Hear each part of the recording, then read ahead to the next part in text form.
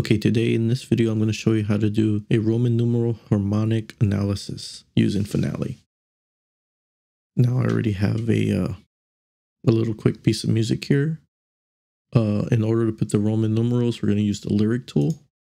Capital I for one, hit space, and capital V for five. And here's where the problem is. In order to put that six five so in order to do all that, we have to go to Documents, Document Options. We start off with the lyrics. Make sure Use Smart Hyphens is unchecked. Then after that, go to Word Extensions.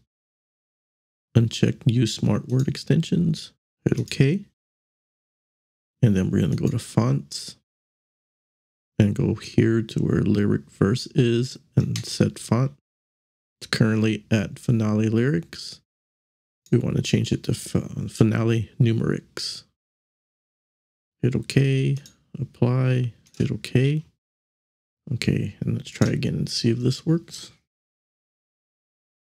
Shift I for one, space, Shift V, and here's the trick. Once everything is set up correctly, you should be able to hit shift and six, and it's supposed to put the uh, the number up there. And if it starts doing that, usually you go to lyrics, lyrics window, and sometimes you have to delete what's up here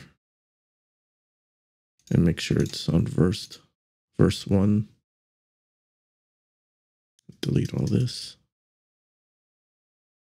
Because sometimes it'll put a couple extra verses when you start typing again. Okay, let's try this one more time. From number one, space. Okay, now shift six. Okay, there we go. And then just five with no shift, and that'll do the lower number. Okay, and then we'll go to the next.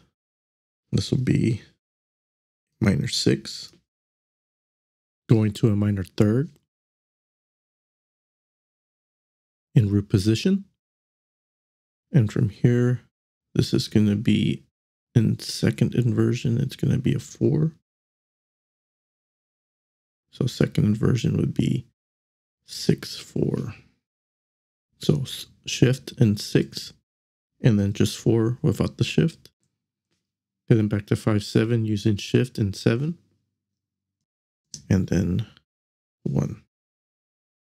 And that's how you do Roman numeral harmonic analysis and finale.